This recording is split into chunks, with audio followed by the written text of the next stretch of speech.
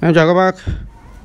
Hôm nay lại gửi đến các bác uh, tiếp tục một cặp loa cực kỳ chất lượng của Nhật Bản. Trong cái lô loa Mỹ thì nó về được vài cặp loa Nhật.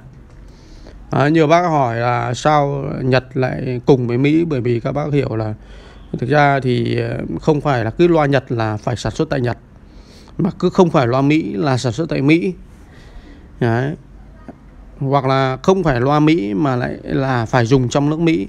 Đấy, nó dùng ở rất là nhiều quốc gia và sản xuất ở Nhật nhưng mà nó cũng dùng ở nhiều quốc gia cũng giống như ở Việt Nam thôi. Có thể dùng rất là nhiều các dòng loa khác nhau loa Đan Mạch loa Pháp loa đia Nhật Đấy, rất là nhiều loại. Thì cặp này nó về trong lô loa Mỹ. Do đó thì cái chất của nó thì rất là đẹp. Thường là loa Mỹ thì bên em hay ờ, làm công thì nó đảm bảo được về cái yếu tố thẩm mỹ này về những cái yếu tố về độ zin độ nguyên. Đấy. Và trong một cái công thì nó có rất là nhiều các loại hàng khác nhau. Các bác nhé. Nói rất là nhiều. Bởi vì một công nó cái thể tích nó rất là lớn. Đấy, trong đấy nó có rất là nhiều các loại hàng khác nhau.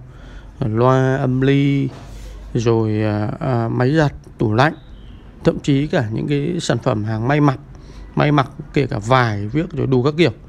Nó nhiều lắm có thể ghép lại chung một cái. Đấy, thì hàng ông nào thì ông đấy ờ, gọi là ờ, bảo quản tức là đóng gói làm sao tùy vào cái mặt hàng của mình. Thì những cái cặp loa hôm nay em quay các bác đây là cặp rất là đẹp.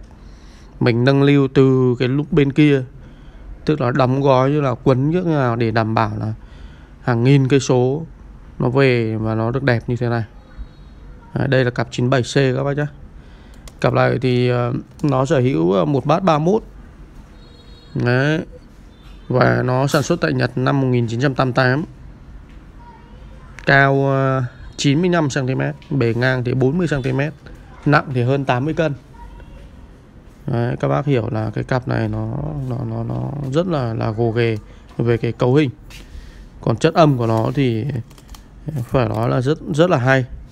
Đấy, dài cao của nó lên đến 35.000 Hz các bác đang nhìn đây là con âm ly ờ, đền ông 3914 nhé để cho các bác thấy là một con âm ly ờ, mặc dù là là cấu hình chất, gấu ờ, tuy nhiên thì nó lại không gọi là sang chảnh.